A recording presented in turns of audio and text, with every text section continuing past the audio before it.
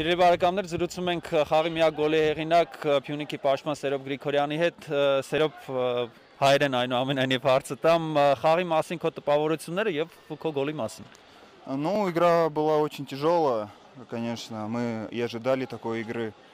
Но, слава богу, выиграли э, за счет командной работы. Все ребята молодцы.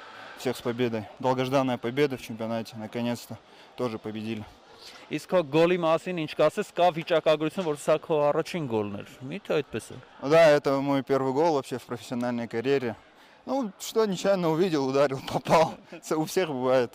Э, сп- Команда вся поздравила, спасибо всем. Надеюсь, будем побеждать в каждой игре.